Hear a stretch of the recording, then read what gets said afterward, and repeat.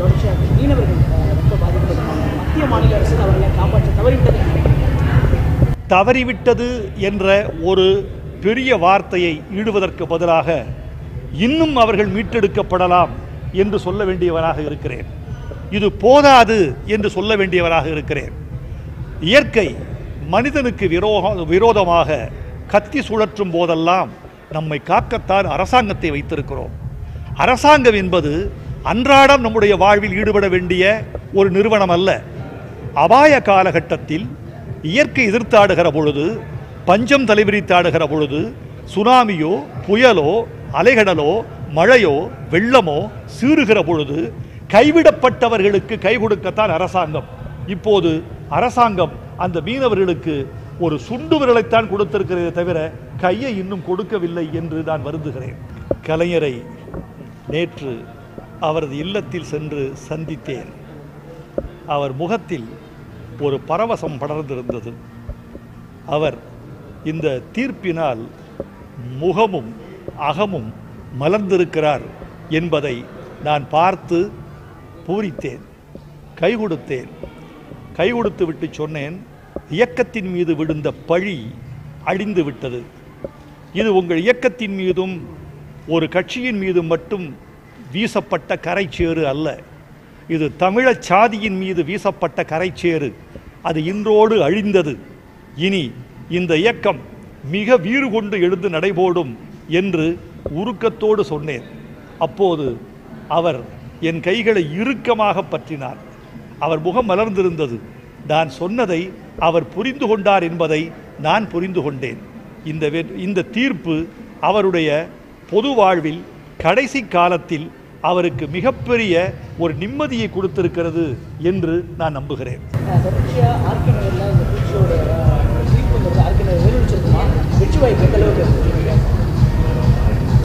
உங்களைப் போலவே நானும் நல்ல ஒரு தீர்ப்புக்காக காத்திருக்கிறேன். நீதிமன்றத்தின் தீர்ப்பு சாதகமாக வந்திருக்கிறது. மக்கள் மன்றத்தின் தீர்ப்பும் சாதகமாக வர வேண்டும். மேடையில் சொன்ன இந்தியா வல்லரசு. Programme for international students assessment என்பதுதான் பிசா அது எழுபத்து நான்கு நாடுகளால் ஒன்று கூட்டப்படுவது அது உலக தரத்தில் உள்ள மாணவர்களின் தரத்தை சோதிக்க அமைந்த ஒரு குழு. அந்த குழுவுக்கு இந்தியாவின் சார்பில் இமாச்சல பிரதேசத்து மாணவர்களும் தமிழ்நாட்டைச் சேர்ந்த மாணவர்களும் சென்று கலந்து கொண்டார்கள். வேற ஒன்றும் அவங்க கேட்கல. வாசிச்சு காட்டுங்கன்னு சொல்லியிருக்காங்க. அறிவியல் சொல்லி காட்டுங்கன்னு சொல்லியிருக்காங்க. என்ன புரிந்து கொண்டீர்கள் என்று சொல்லியிருக்கிறார். இந்த மூன்றிலும் நம்முடைய மாணவர்கள் முழுமையாக தேர்ச்சி பெறவில்லை. எழுபத்தி ரெண்டாவது இடத்திற்கு வந்திருக்கிறார்கள். முதலிடத்திற்கு வந்தவர்கள் யார் தெரியுமா? சீனா மாணவர்கள். ஷங்காய் மாணவர்கள். ஷங்காய் மாணவர்கள் முதலிடத்தில் வந்திருக்கிறார்கள் இந்த மூன்று தேர்விலும். அவர்கள் தாய்மொழியில் கல்வி கற்றவர்கள். ஆங்கிலத்தின் பின்னால் அலைந்தவர்கள் அல்ல. ஆங்கிலம் நமக்கு கூடாது என்ற மூடநம்பிக்கை கொண்டவன் அல்ல நான். சொல்லப்போனால் எந்த மொழிக்கும் நான் எதிரி அல்ல. சொல்லப்போனால் எத்தனை மொழிகள் ஒருவன் படிக்கிறானோ அத்தனை மனிதராக வளருகிறான். அத்தனை உலகமாக அவன் விரிகிறான். ஒரு மொழி என்பது ஓர் உலகம். எனக்கு இரண்டு உலகம் தெரியும். நான்கு மொழி கற்றவருக்கு நான்கு உலகம் தெரியும். ஆனால் அந்த மொழியை எந்த மொழிக்கு நாம் விரோதிகள் அல்ல.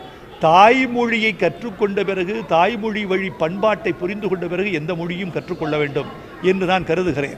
தாய்மொழியில் கல்வி கற்று புரிந்து கொள்வ புரிந்து கொண்டவர்கள் வெற்றி பெற்றார்கள். அந்நிய மொழியையும் இணைத்து ப- பயின்ற நாம் பின்தங்கி விட்டோம் என்பதை அது காட்டுகிறது. நான் சொல்வதெல்லாம் இதுதான். இந்தியாவில் கல்வி விகிதாச்சாரத்தில் ஒப்பிடுகிற பொழுது தமிழகம் மேம்பட்டு நிற்கிறது.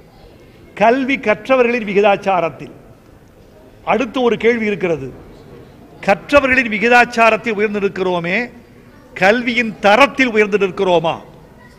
இன்றைக்கு ஒரு தமிழ்நாட்டு மாணவன் இந்தியாவோடு போட்டியிட்டு வெற்றி பெற்றால் புண்ணியமில்லை.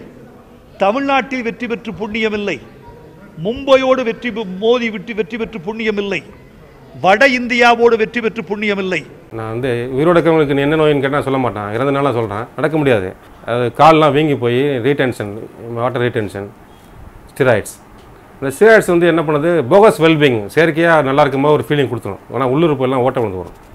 உள்ளுறுப்பெல்லாம் வந்து ஹாலோவாயிரும் செயற்கையாக வெளியே நல்லா இருக்கும்போது ஒரு தோட்டம் கொடுக்கும்.